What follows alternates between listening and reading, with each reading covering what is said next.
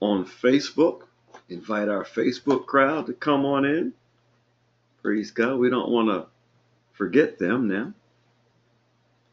Praise God. Welcome, welcome, welcome to our Facebook Live family coming via Back to Basics Ministries Incorporated.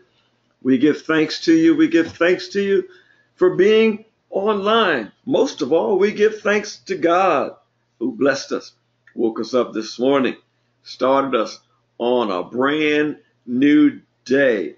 What a mighty God we serve. What a mighty God we serve. You know, for many of you, uh, weeping may endure for a night. Joy comes in the morning. We know it's 2017 is on its way out of here. And it's been a blessed year. It's been a challenging year. Many of us have been stretched, stretched more than we've ever been stretched before. But we have learned throughout this whole year that God is real. He will not put on you more than what you can bear. He still supplies all of our needs. The Lord is our strength. He's our light and our salvation. And what a mighty God we serve. And it's so good to be in the land of the living where we can offer up praises unto God. So we welcome you. We welcome you to the Back to Basics Ministries online church. And for the next 45 minutes or so, we want you to worship with us and um, be a blessing, uh, not only to one another, but to others as they watch the video at a later time. We thank God. God is moving by his spirit. Ladies and gentlemen, God is moving by his spirit. And we pray that you'll get into the flow and see what the Holy Ghost is doing and let the Holy Ghost have his way. He is working in this world. He's working in this nation. And we pray, ladies and gentlemen, that if you're listening in today, live or via the video, that if you're not saved, make it your purpose to get saved today. What do you mean by get saved, Pastor Carter? By getting saved, we mean give your heart totally to Jesus Christ and receive him to be your Savior, your Lord, and your God. Well, Pastor Carter, how can I do this? How can I get saved? I go to church. I've been baptized. I've been going to church all my life. Well, if you're not saved, going to church won't help you. All that time you put in going to church, attending church, teaching Sunday school, singing in the choir, working on the usher board, slaving in the kitchen, plucking chickens, cooking dinners, selling dinners, raising money, that won't mean a thing if you're not born again. And the Bible teaches us that you can be born again. You must be born again. The scripture says in Romans 10 9 and 10 that if you will confess with your mouth the Lord Jesus Christ and believe in your heart that God raised him from the dead, you shall be saved. Ladies and gentlemen, it's so easy. Commit your life to the Lord. And when you commit your life to him, you're making a lifelong commitment. You're making a holy vow before God, the angels, and, and the heavenly hosts. And God is going to hold you to that. God does not want you to make a mouth a verbal commitment, but commit your heart to Him, your life. Let Him come and change you. Let the Holy Spirit change you as you study the Word of God, as you worship, as you fellowship, as you hear the Word of God, as you purpose in your heart that I'm going to live for Jesus. You watch how God will live for you. And so we greet you in the name of Jesus. We greet all, all of our friends throughout America we greet all of our friends throughout Europe, Asia, Africa, all over the world. We greet our friends on the YouTube channel, the Facebook channel. We bless God and thank God for the social media and for the opportunity to bring the Word of God into your home wherever you are. We give the praise to God, we give the glory and the honor. Thank God for our little studio here. Thank God for the presence of the Holy Spirit. And we thank God for you. We want to thank you for your support for this ministry. We want to thank you and uh, I'm thinking of certain people who've sent donations to the ministry this past year. You have supported us not only with your financial gifts, but with your prayers and your love. And we pray that God will meet every need that you have and that as you enter into 2018, you will go by faith, not by sight. Ladies and gentlemen, we walk by faith and not by sight. Because if you take a look at what's ahead of us in 2018 and looking at 2017 and transitioning to 2018, many of you don't want to go forward. We have a message for you today, a message of faith and hope that you can go forward. You must go forward. You will go forward. And so we bless God and thank God. Praise God. Let us pray. Eternal Father, we come to you this day in the name of Jesus, and we worship you and bless you. We lift up holy hands unto you, Father. We thank you. Lord God, you are God of all, God of the whole universe. Universe, you made us. You made us for the purpose of worshiping you. And so we set our hearts on worshiping you in the name of Jesus, in the Holy Spirit. And God, we ask that you'll bless each listener, each participant in this ministry, everyone who watches the video, everyone on live. Bless the Facebook family, the YouTube family, people all over the world. Meet every need. Lord God, stretch forth your mighty hand and heal the sick, deliver those who are bound, give jobs to the unemployed, homes to the homeless. Oh, Father, deliver those who have to face operations, deliver those living in fear, Many have lost loved ones. Bring comfort to the bereaved. Father God, we just trust you. We bless you. We honor you. And thank you for this ministry. Thank you for this ministry. Thank you that you brought us through another year with the online church. Thank you for the many people whose lives you've touched, the many people whom you've changed all over the world. God, we give you the glory and the honor and the praise. And we pray that you'll forgive us of all of our sins, forgive us of our shortcomings and our iniquities. And Father, we ask that you bless us today. Bless the word that will go forth. Let it not return unto you void or empty. Encourage somebody, Lord. Somebody needs encouragement. And so we trust you, Lord God, and we commit this service to you in the name of Jesus. Amen. Well, bless God. Bless God. Bless God. Bless God. We thank God and we say, Amen. Thank you, Jesus. Well, neighbor, we're going to get ready to get into some word. We've heard a few songs uh, before we started our service and the prayer, and um, we don't play songs during the service because we're not permitted by our hosts, our Facebook or uh, YouTube to play people's songs. And so I might do a little bit of singing now myself. I mean, I mean, I might sing a little Andy McBride. McBride, I might sing a little bit myself. Jan Ryder, I might try to sing a few notes myself. Praise God, because there's no copyright on my songs. Hallelujah. But we praise God. And, and ladies and gentlemen, every one of you ought to have a song in your heart. You ought to have a song some a song of praise unto the Lord that's going to carry you through the day, keep you in times of trouble. Like in the time of trouble, the Lord will hide me and or wait on the Lord. Like in the time of trouble, the Lord will hide me. That's a song we sing that uh, there, uh, Ryder says there's no copyright in heaven, so we can sing these songs.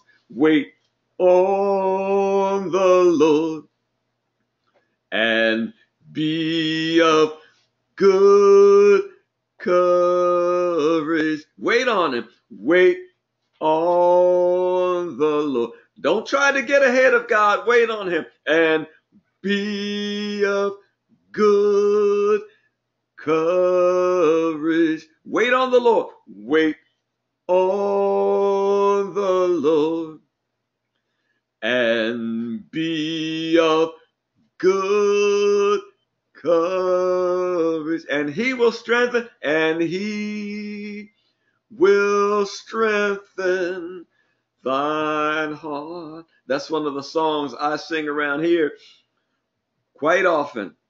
When, when Satan's trying to bombard my life, trying to destroy the ministry, uh, messing against people, and people need prayer, people are hurting, and we've got to encourage them. We've got to deal with our own problems. Somebody knows what I'm talking about.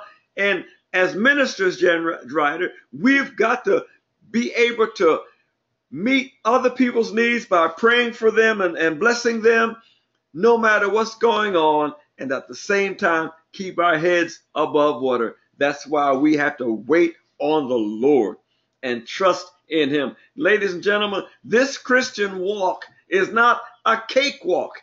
It's not a piece of cake. It's not a piece of cherry pie. There's a war going on. We're in battle every day. Satan is trying with all of his might to destroy you, to destroy me, to destroy your household, to destroy this nation, to destroy the nations. And there's a war going on 24 7. And on the horizon, we're looking at a real world war about to take place. And we've got to dig in, ladies and gentlemen. You can't cave in now. You've got to know where to get the strength because if you don't have the strength to go on, you will cave in. Satan wants you to cave in. He wants your ministry to cave in. He wants your marriage to cave in. He wants your household to cave in. Satan wants you to die. He wants to kill you. He wants you to kill somebody else. And so you need the Lord in your life. And so get a song. Get a song. Get a repertoire. Don't worry about copyrights. Sing those songs. Sing those praises unto the Lord. When trouble comes upon you during the day, sing a song. Sing a song. Sing a song. Lift up the name of Jesus. Oh, magnify the Lord with me. When your body's racked with pain, sing a praise song unto the Lord. Sing a song of victory. When you're broke, busted, and disgusted, sing a song of praise to the Lord. Sing a song of victory. I believe this is going to help somebody. And when you start singing, Satan can't deal with it.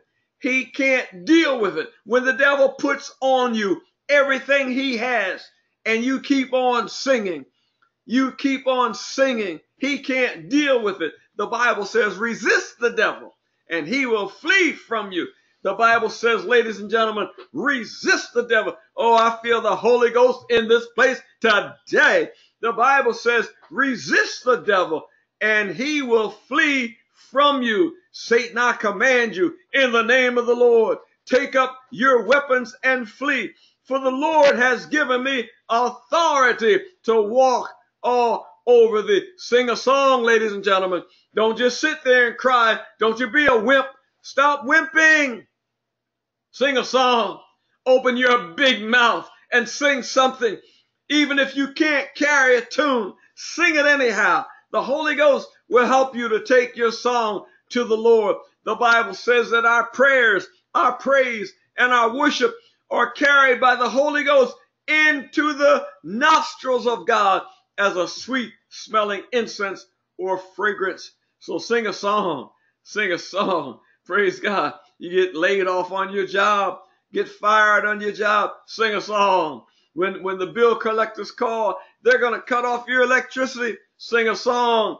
Praise God. You don't have enough food for tomorrow. Sing a song. You're about to lose your home. Sing a song. The doctor gives you a bad report. Sing a song. Ladies and gentlemen, Joshua said, choose you this day whom you will serve.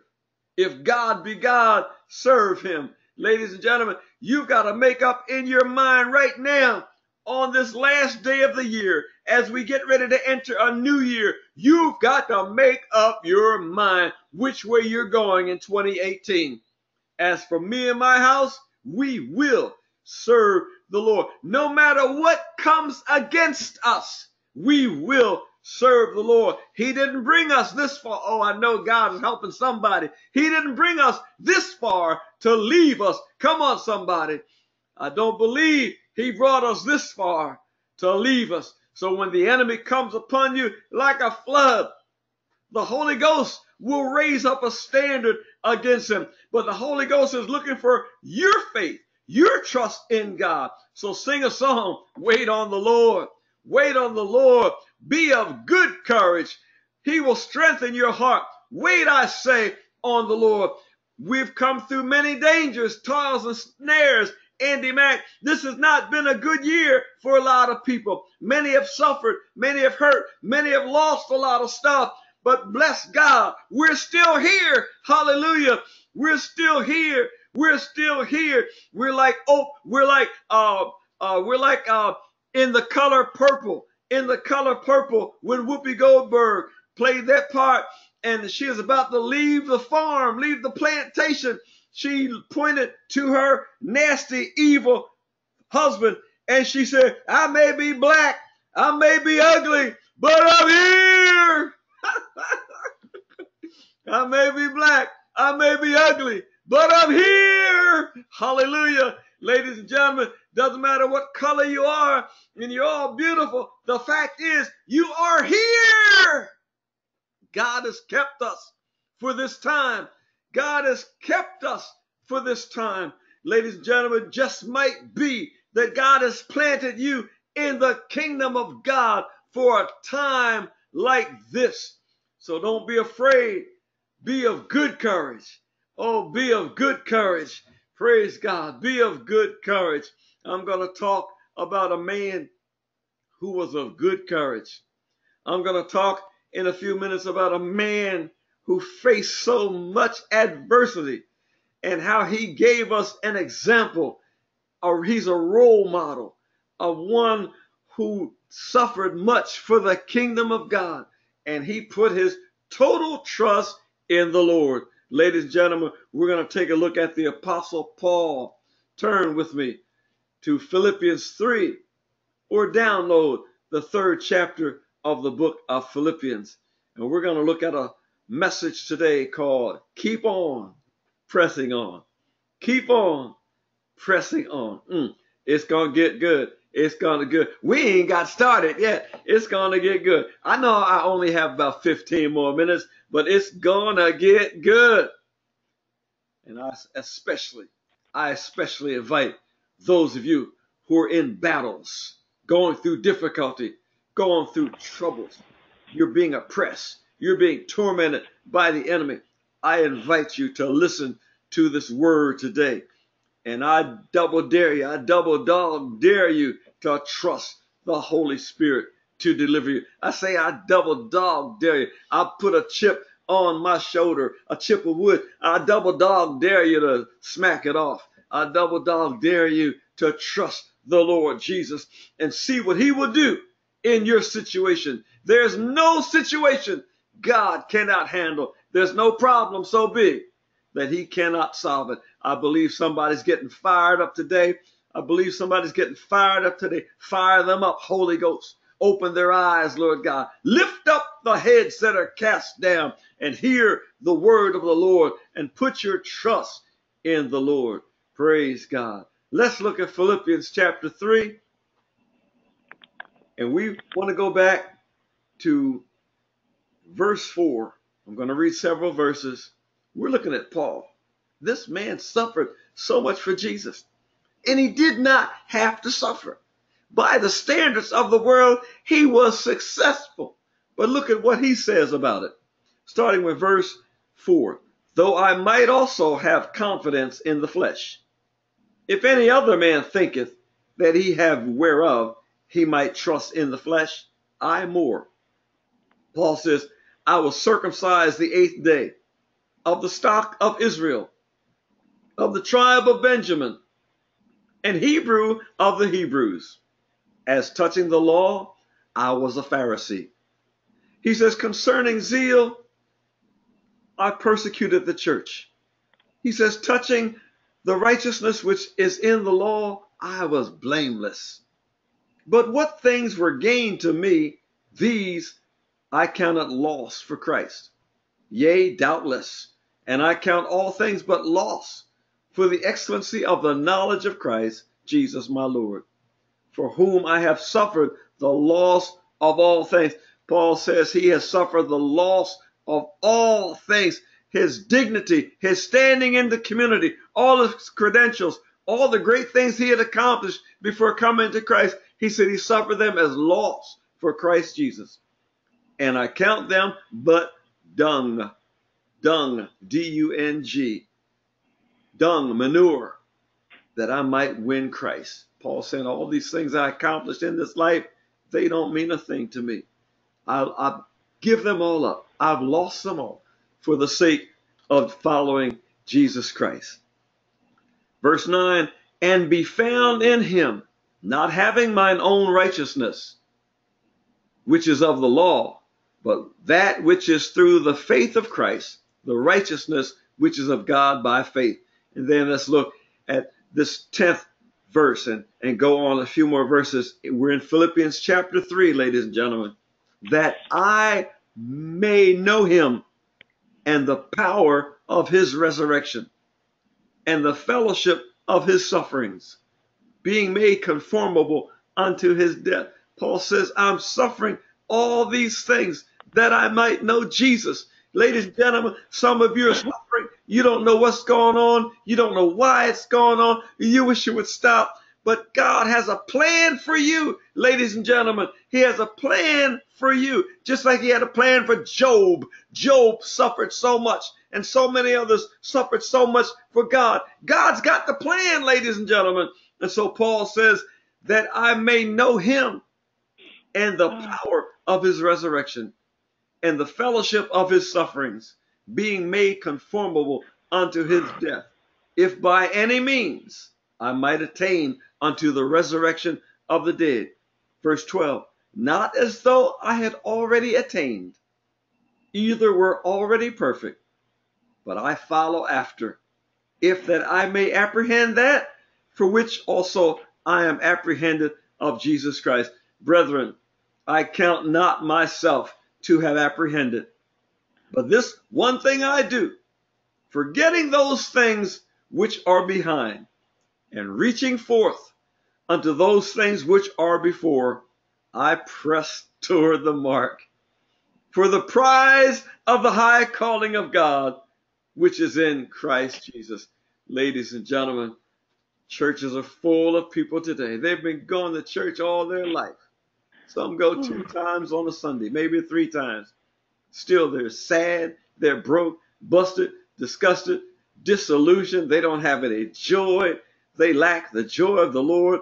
Ladies and gentlemen, some people have been sitting up in dead fellowships, hearing dead sermons. Nothing goes in and naturally nothing goes out. Ladies and gentlemen, this is not the way God intends it to be. The preaching of the gospel ought to change people's lives. If you're going to church or if you're on the online church, you ought to come with an expectation that your life is going to change and that you have no power to change it at all. But it is the Holy Ghost who will do the changing. And ladies and gentlemen, you've got to have the conviction, the commitment that whatever way God chooses to change you, it is all right with him and with you. Ladies and gentlemen, it's sickening the number of people who think that attending church is going to get them saved. Attending church is going to get them brownie points. Sucking up to the pastor, sucking up to the bishop, that is not going to get you over, ladies and gentlemen. It's not in church attendance. It's not in righteous works. Is your heart yielded to the Lord God? Ladies and gentlemen, it is so sickening to see the number of people who call themselves Christians. They're excited when things are going well, but when things don't go well, the first thing they do is withdraw from the church.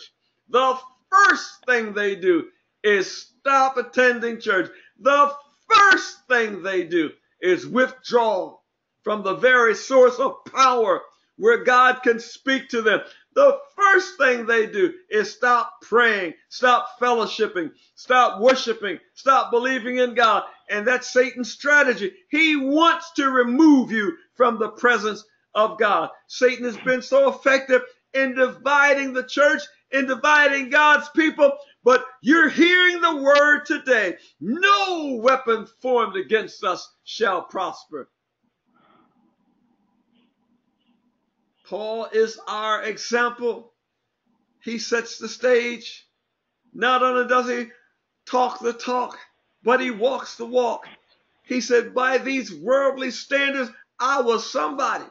I had it made in a shade. I was rich. I was powerful. I was a Pharisee. I was a Jew among Jews, a Hebrew, circumcised the eighth day. I had all the credentials of success. But these things don't mean a thing. Ladies and gentlemen, some of you grand poo-poos and kahunas sitting up in churches thinking you're somebody. Some of you preachers all puffed up thinking the people are, are, tools and implements at your will. Some of you ladies in your big fine hats and fine dresses and jewelry uh, think you've got something. Some of you folks who've got these degrees, these don't mean a thing to God, ladies and gentlemen. Paul said, I count it all as dung. Don't let the devil deceive you into thinking you're somebody that you're not.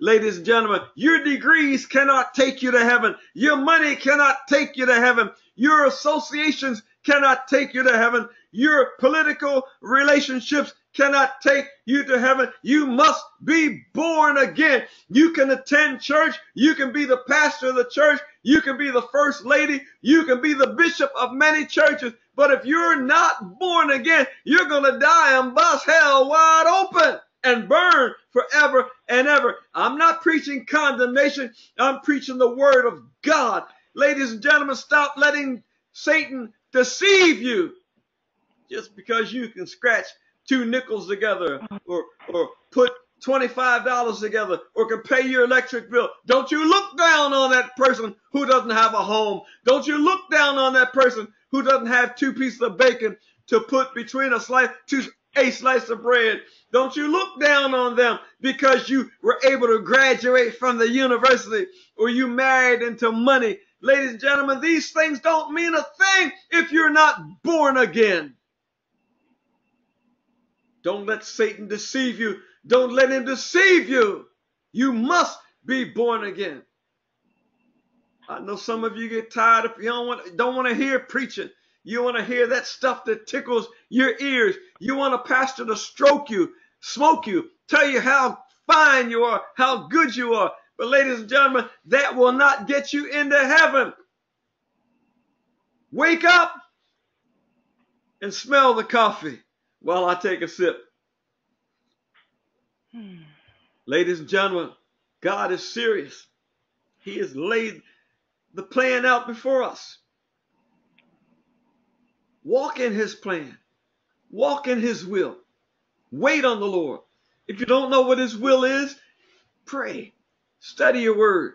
God will reveal his plans to you.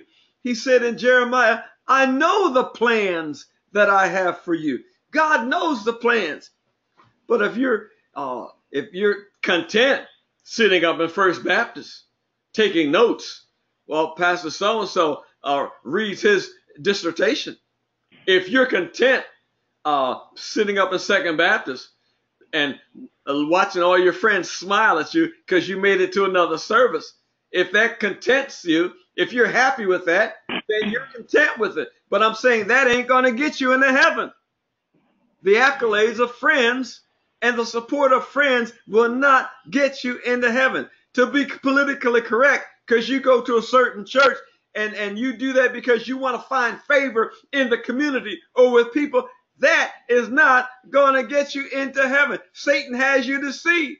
He doesn't have to afflict you. He doesn't have to bother you. He's already got you. And there's some of you, you get sick,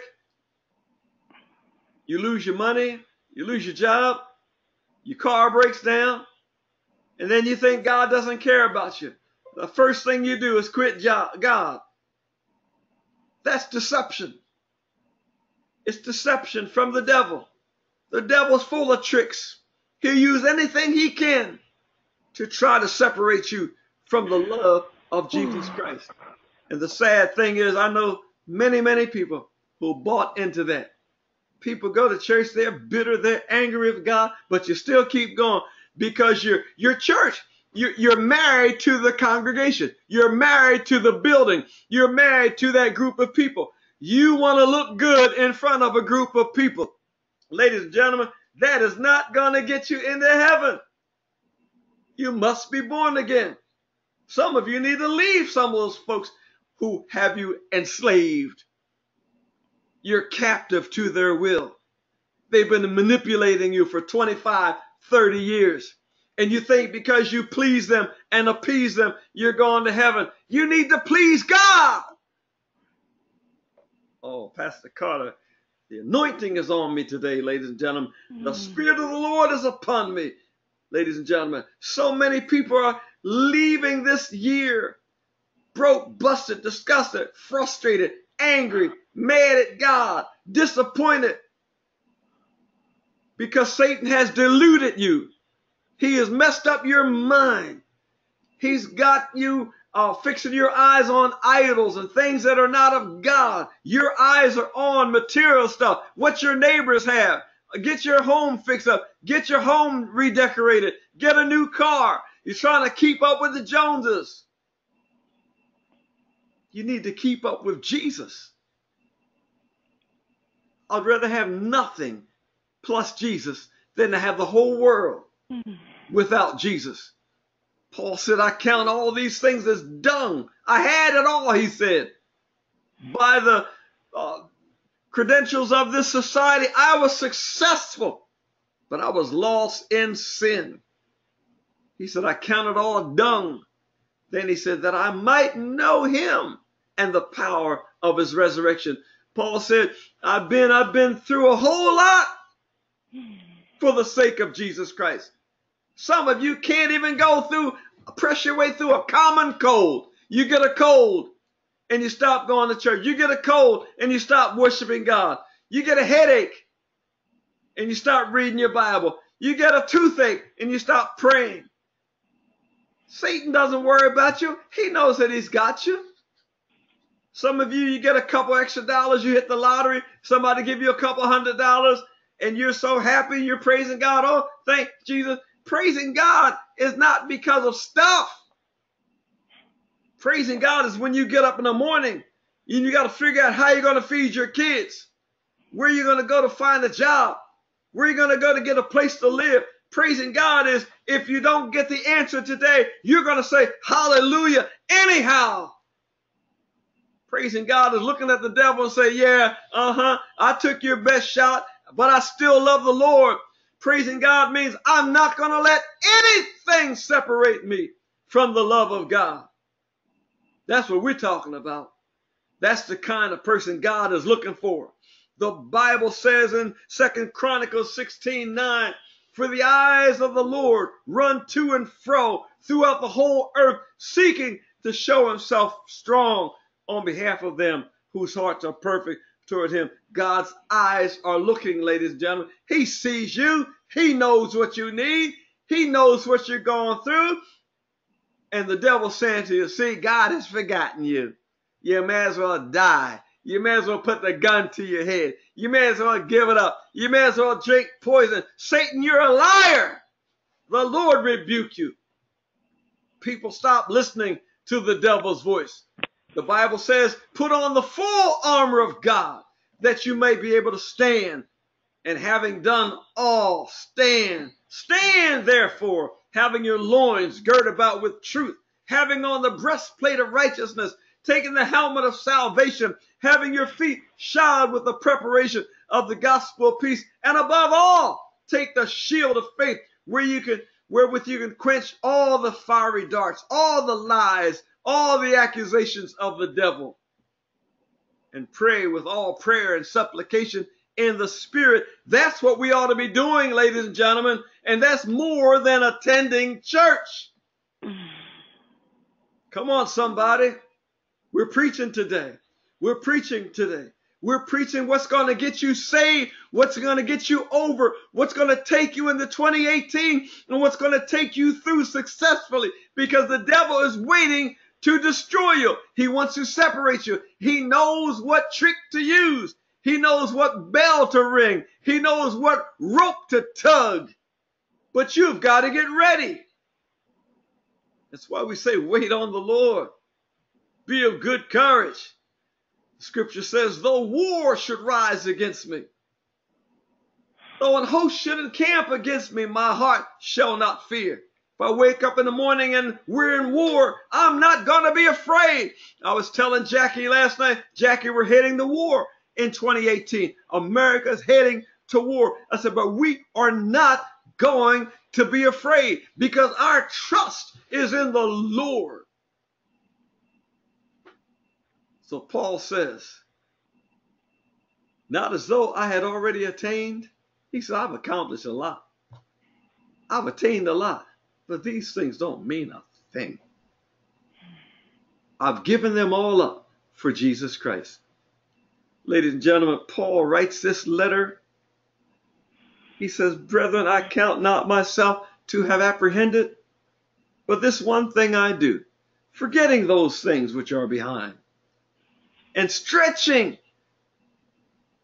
toward all those things that are ahead, I press toward the mark for the prize of the high calling of God, which is in Christ Jesus.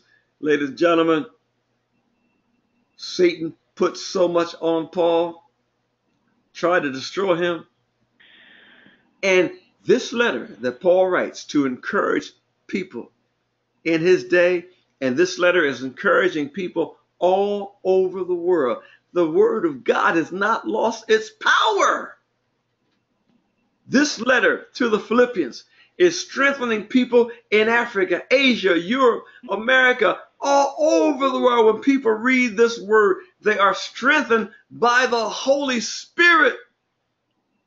But if you're sitting up in church and you don't read your Bible, you listen to anything coming out the pastor's mouth, and much of it some much of it sometimes don't amount to nothing if you're not willing to make a change if you're not willing to invest in your own soul and seek God, God, where do you want me to be? What do you want me to be? Then you'll fall for the okey doke and you'll be deceived. Ladies and gentlemen, we're talking about millions of Christians today. Many who are so gripped in fear and paralyzed by the devil that they are afraid to take a leap of faith and change. I invite people every day. Join me on the online church. You know, there are so many people who could get delivered, who could get set free by listening to the online church, uh, not just because of me, not, but not just because of Paul Begley, not because of these powerful, anointed online ministers who have sold out to Jesus Christ, but because of the Holy Ghost doing a new thing. It's a new paradigm for the church, ladies and gentlemen. But people are still stuck on stubborn. They would rather go down with their church. I'm going down with First Baptist.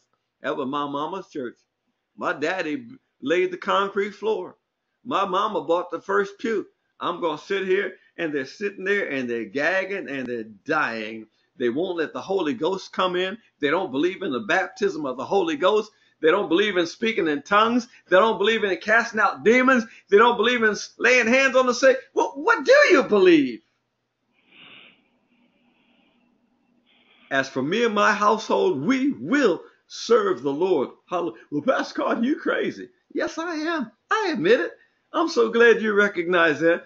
I'm so glad that I'm out of my mind. Hallelujah. And I, I'm so glad that I have the mind of Christ in me. Hallelujah. Thank you for reminding me that I have the mind of Christ in me. The scripture says, Let this mind be in you that was in Christ Jesus. A mind to dare to be different, a mind to dare to trust God, a mind to dare to keep on pressing on. Paul in, in 2 Corinthians gives us a look at all the things he suffered uh, two nights he had to swim in the Mediterranean because of shipwreck. He was beaten on two occasions, left to die. He was stoned to uh, nearly to death. He was starved. He spent nights in the desert when it was severely cold, days when it was uh, so hot he could barely stand it. They try to starve him out. They beat him. They put him in jail, cast him in prison. And ladies and gentlemen, at the time of this writing of Philippians, the apostle Paul, who gives us so much encouragement today, at the time of this writing, he's waiting to be beheaded in a Roman prison cell. That's love. He was waiting to be beheaded by an axe that would chop his head off. And while he was waiting to be executed, he decided to write this letter to encourage believers wherever they were. And some of you can't even write a Christmas card or send a note to somebody sick or text somebody who's going through or go on Facebook and encourage someone who's bereaved. It's sad, ladies and gentlemen. You need to wake up. You need to wake up and get filled with the Holy Ghost. You need to wake up and repent. Ladies and gentlemen, there should be repentance all over the world. And repentance ought to start in the church. We ought to repent for our wicked ways, for our stubborn sophistication, for our pride, our rebellion against God. And so many of us think we know everything. Nobody can teach you anything. You need to repent and humble yourself before the hand of God. Paul said, All this stuff that I accomplished in my life, it doesn't mean a thing. I give it all up for the sake of Jesus Christ. And look at him, waiting for the executioner to come to his cell and lead him to the chopping block. What a man. What a man. What a man. To take time out from dying to encourage us and he's a reminder of Jesus Christ, who hung, bled, and died on the cross for you and for me. And he looked down from the cross and he said, Father, forgive them, for they know not what they do. Jesus took time out, ladies and gentlemen. He said, Father, forgive them, for they know not what they do. And when one of the dying thieves next to him on the cross, on a cross next to him, said, Lord, remember me when you come into your kingdom. At about the midnight hour of his life, Jesus took that man and ushered him into paradise and saved him. So the scripture says, Thou art inexcusable, O man. Why go through this life gloating, grumbling, complaining, trying to manipulate folks, trying to accumulate stuff, trying to control people? Why go through your life sitting up in church every Sunday and not be born again? Why do you stubbornly resist being born again? Do you think God is going to have mercy on you at the midnight hour? Well, he can, but in most cases, you don't know, people don't know when they're going to die. They don't know when the midnight. Uh, why spend your life in rebellion against God when God is knocking on your door every day saying, Let me in? Jesus said, Behold, I stand at the door and knock. If any man hear my voice and opens the door, I will come in and sup with him and he with me. It's as easy as that, ladies and gentlemen. You know that you know that you know that Jesus is knocking on your door. But you're talking about, but I like my my my wine. I like my red wine. I like my reefer. I like smoking my dope. I like all sex. I like committing adultery. Ladies and gentlemen, those things are going to take you to hell. Get saved while you can. Well, I've been saved, Pastor Carter, but it's all right to have a little bit of liquor every now and then. Yeah, I mean, God don't want me to live a cloistered life. All contrary, Satan, the Lord rebuke you. Cast down those vain imaginations. Stop the lying. Stop perpetrating the lies. Do what the word of God says. And if your friends don't like it, your family don't, don't like it, It's too bad. I have decided to follow Jesus. What about you? I have decided to follow Jesus. No mm-hmm. turning back. No turning back. Though no one join me, still I will follow Jesus. That's my position. I'm at Pascal. You think you're so arrogant? No, I am not. You don't know what I've been through. You don't know what God has brought me through to bring me to this place. I conclude that I know that I know that I know that my Redeemer lives and can't nobody do me like Jesus. That's just the way I feel about it. Whether you like it or not, that's the way I feel about it. And I have decided I will not let anything or anybody separate me from the love of Jesus Christ. And I intend to walk in love. Mm. And though you hate me, I still love you. I'm not going to carry any grudge. If I were to keep a, a, record of all the things people have done to me, I'd be most miserable. I let them go. I count that as all done. I release you. I forgive you. Anybody, anywhere, whether you're living or dead, if you have hurt me, offended me in any way in this life, I forgive you. You will not keep me captive by keeping me angry and bitter and envious and jealous. Oh, no, no, no. Thank you, Lord. Thank you, Lord. Thank you, Lord. Keep on pressing on. Keep on pressing on. Paul says, I count not myself to have apprehended, but this one thing I do, forgetting those things which are behind, and reaching forth unto those things which are before, I press toward the mark for the prize of the high calling of God which is in Christ Jesus. Ladies and gentlemen, my friends, I encourage you, forget those things which are behind. Oh, sure, they hurt you, but let it go. Let it go. Let it go. Let it go. Let it go. No matter what it is, forgive them. Let it go. Don't harbor any grudges. Don't let any root of bitterness be in your heart. Let it go. Forgive them and walk with the Lord. Stretch every muscle, strain every muscle, every fiber of your being to follow Jesus, not the church. Don't try to impress the church. Stretch every fiber, every muscle of your being to follow Jesus.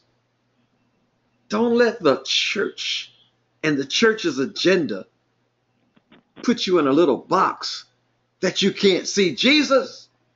There's much more glory that God has for us if we just open up our eyes and commit our lives to Jesus, not to the church, not to a fellowship, not to a building, not to people. Commit your ways unto the Lord, and He will direct your path. Well, praise God. This is Pastor Leroy Carter. Mm, mm, mm. I've enjoyed the word today. I've enjoyed the word. Oh, taste and see that the Lord is good. I pray that you'll get this video. Uh, it'll be live on uh, YouTube later. It'll be back on Facebook later on. It'll be on my website, www.backtobasicsministry.wordpress.com. Go over this message again and again and share it with others. Share it with others and ask God to guide you. Know that you know that you know that you're saved. Commit your life to the Lord. Take the leap of faith.